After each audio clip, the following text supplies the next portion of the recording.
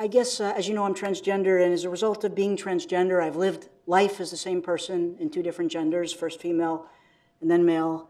And I'm aware in a way that I think few people are, except for other transgender people, how differently men and women are treated, just based on their gender identity.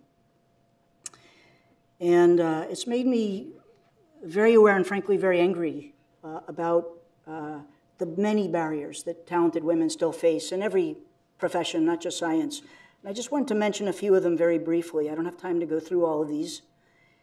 Um, one thing I want to mention is, you know, I'm just reading this amazing book. It's, uh, it's called Keep the, Guy, Keep the Damned Women Out, or something like that. Um, by where's Nancy Hopkins? Are you here, Nancy? No, Nancy is. Oh, sorry. Oh, she's not here. She would have remembered the name of this book and the author. But um, it's a book about how the Ivy League colleges decided to uh, finally allow coeducation and let women in. And this happened in the late 60s. I was just starting college here at MIT in 1972. And frankly, I was so naive at that age, it never even occurred to me that women were ever kept out. Um, but this was all happening in the late 60s, early 70s. And I always thought the reason that these colleges went co ed is it because, you know, there'd been the Civil Rights Act in 1964, basic fairness, women deserved equal education as men. That, that is totally not why colleges let women in. It turned out that as soon as some lesser colleges started letting women in, that the the Ivy League's top male applicant choices, the, the very best men, were turning down their Harvard offers.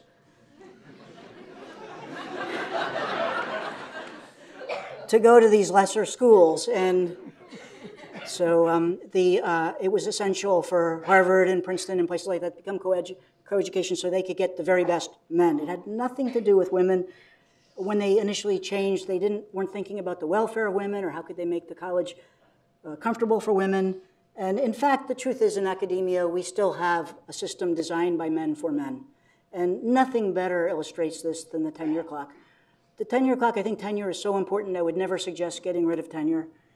Um, but the tenure clock doesn't work for women, to be very frank. And, uh, you know, I'm seeing now most of uh, women in my uh, lab often choose to have babies even as postdocs. Uh, and they often start their tenure track years with a baby, and then they often have one or two more babies. And yet they're in the same tenure clock that the guys are. Maybe uh, some, some guy somewhere decided, okay, let's let them have an extra year. I mean, who decided one baby is equal to one year? That's crazy.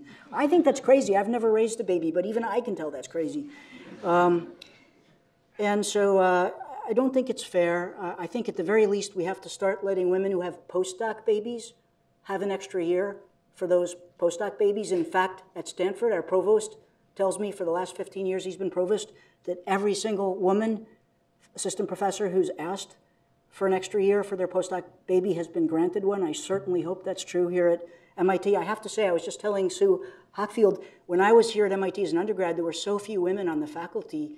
Um, and uh, it was a very different climate for women back then. And it's so exciting to come back today and to see so many fantastic women on the faculty here. And I think more than half of the people I'm meeting with today are, are fantastic women faculty. So it's, it's thrilling to see that we are making progress. We're making a lot of progress.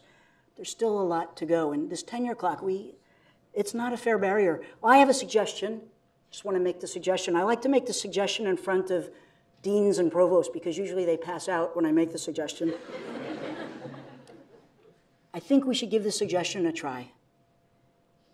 I think, you know, these days, the average young scientist does at least 10 years of training before they start their own lab as a PhD and then as a postdoc. Some of them even do two postdocs. And to get a job at a place like MIT or Stanford, you've been very successful as a graduate student, you've been amazingly successful again as a postdoc. Then you apply to this really competitive job and there's hundreds of applicants and you win. Let's give that person tenure the day they start their job. Why not? Why not? And if you think about it, you know, no system is perfect. Any system you're going to use is going to have pros and cons.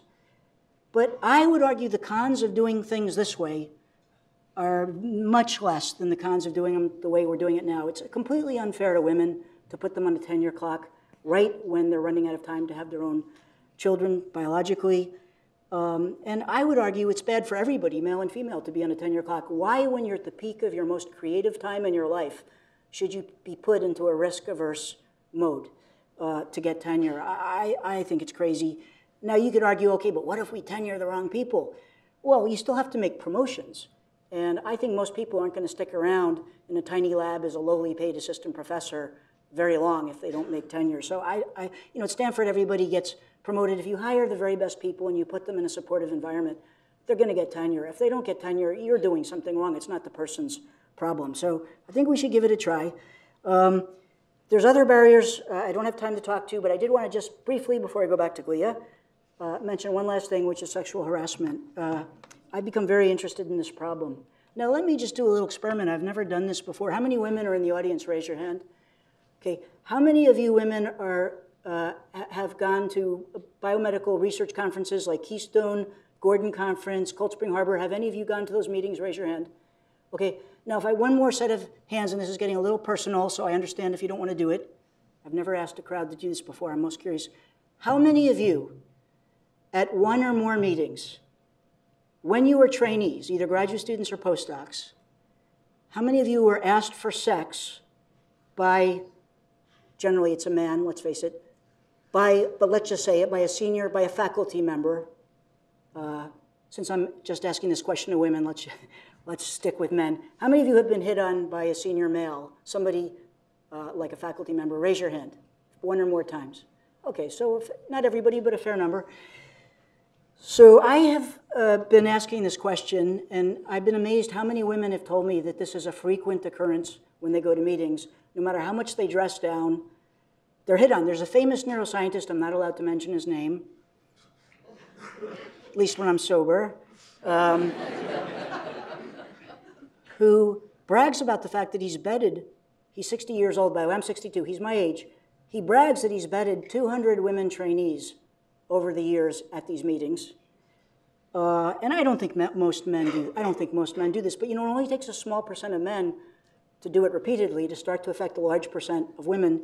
I just heard another story where a woman was having this fantastic conversation at her poster. A postdoc was having this fantastic conversation at her poster with a famous senior scientist, whose name I won't mention, and she thought it was like the scientific conversation of her life. And at the end of the conversation, he took her hand and he wrote his hotel room number on her hand.